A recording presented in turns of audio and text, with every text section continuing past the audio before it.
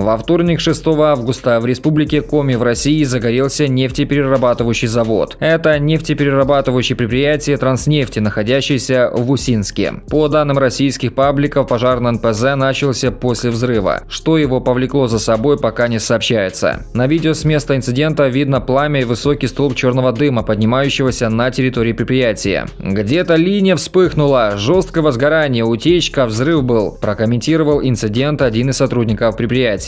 Всех сотрудников эвакуировали, пишут российские СМИ.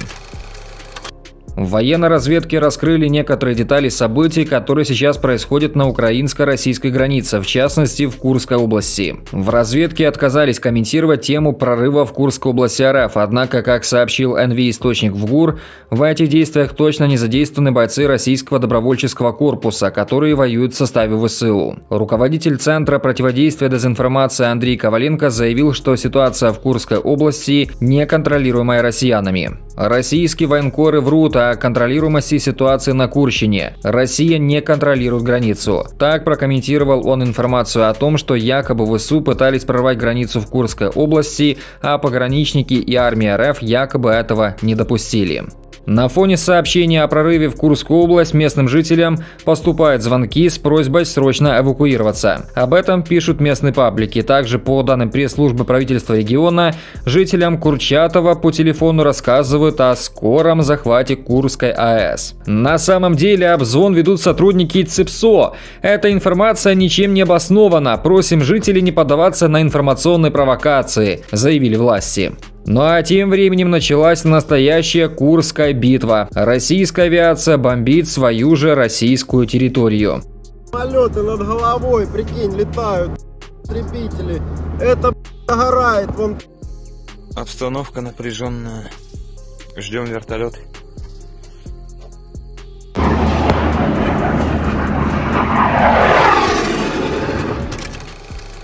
Во вторник, 6 августа, украинский лидер Владимир Зеленский провел очередную ставку с участием высшего командования сил обороны. Главком ВСУ Александр Сырский участвовал во встрече по видеосвязи, так как на данный момент отправился с рабочей поездкой на фронт. Первой темой обсуждения стала непростая ситуация на линии фронта. Зеленский назвал три самых сложных участка, где идет российское наступление – Покровское, Торецкое и Харьковское. По поводу ситуации в войне с докладами выступили также представители внешней и военной разведок страны – ГУР и СВР. Второй ключевой темой встречи стало наращивание производства украинских дронов и ракет для обеспечения сил обороны на фронте. Направили дополнительное финансирование на нашу ракетную программу. Ракет собственного производства станет больше, пообещал украинский президент.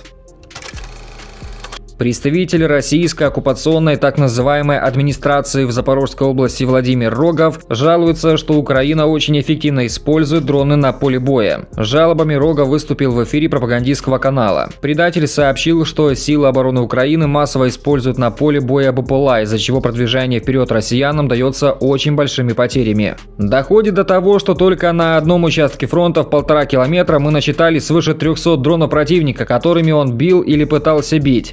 Представьте, 300 дронов камикадзе, несущих смерть на участке в полтора-два километра. Естественно, при такой плотности вести наступательные действия очень тяжело по той простой причине, что любая техника, которая появляется в зоне досягаемости дронов, подвергается ударам. Ничего не спасает, будь то обвесы, наваренные клетки, мангалы. На технике появляться там у линии фронта смертельно опасно и безрассудно. Сейчас расстояние стало еще больше, потому что вражеские дроны по глубине ударов достигают даже 20 километров. На одного нашего бойца они могут использовать 5-6 дронов. Начинается настоящая охота, и проблема заключается в том, что технологии не стоят на месте. Это уже искусственный интеллект, это рой, и я думаю, в ближайшем будущем мы столкнемся с этой проблемой еще больше рассказал Рогов. И это, друзья, указывает лишь на одно. Донатить на дроны нужно больше. Во время атаки по Киеву в ночь на 6 августа враг снова использовал баллистические ракеты «Искандер» КН-23. Сразу отметим, что несмотря на представление о том, что РФ приостановила их использование, эти баллистические ракеты продолжают лететь на Украину. В частности, одна из них упала в лес под Белой Церковью 31 июля. И похоже, что аналогичная ситуация произошла и во время последней атаки, когда одна из КН-23 упала на окраине Броваров. Момент ее падения был снят на видео и широко распространен в сети, отмечают эксперты Defense Express. Сама ракета упала в лесу рядом с трассой. От места падения этой ракеты до центра Киева около 20 километров, а сами бровары вряд ли были целью удара. То, что упала именно КН-23, стало известно благодаря найденным останкам. Об этом Defense Express стало известно из собственных источников. Также из них получены фото обломков с характерной маркировкой для ракеты «Искандер». На видео с места событий на нескольких кадрах можно заметить и саму неконтролируемо падающую КН-23. Такие ситуации являются для ракет «Скандер» более чем привычными, и примерно половина из них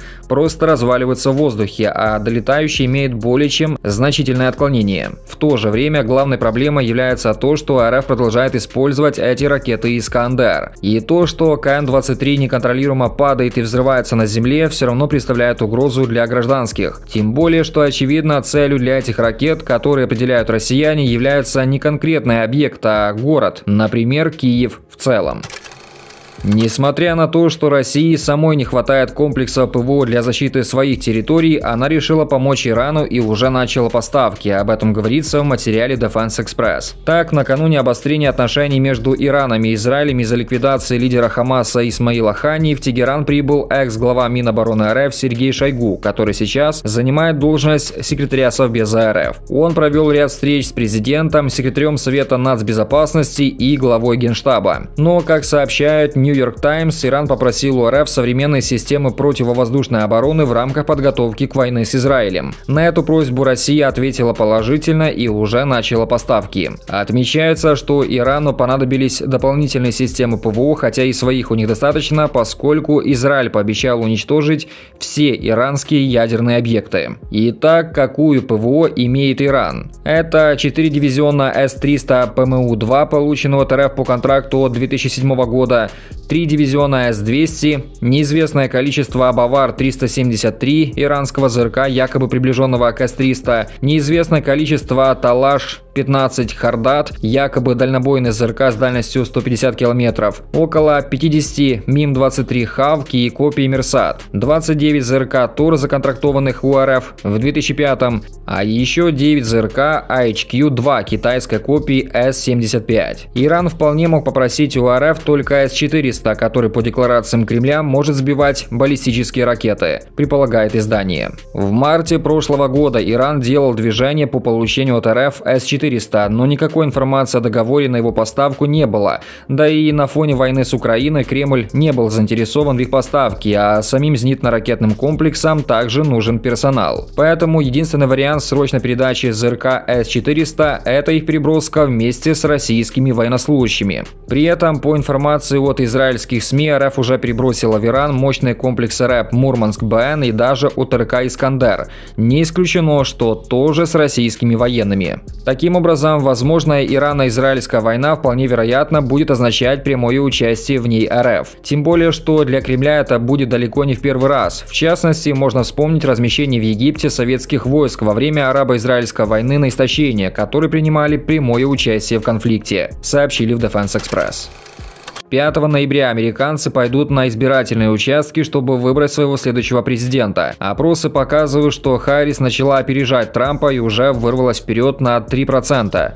Об этом сообщает The Economist, публикуя последние средние показатели по стране. По состоянию на 5 августа за Харрис готовы проголосовать 48% американцев, за Трампа 45%. Аналитики отмечают, что Харрис достаточно быстро переломила негативную для демократов тенденцию и после выхода Байдена из гонки сначала догнала кандидата от республиканцев, а затем вырвалась вперед. У нее есть одно явное преимущество. Она на 18 лет моложе Трампа, который ранее высмеивал преклонный возраст Байдена и его физическую несостоятельность. Против Трампа играет и его мрачная репутация. После покушения на Трампа он считался явным фаворитом, однако выход Байдена из гонки перевернул ход кампании.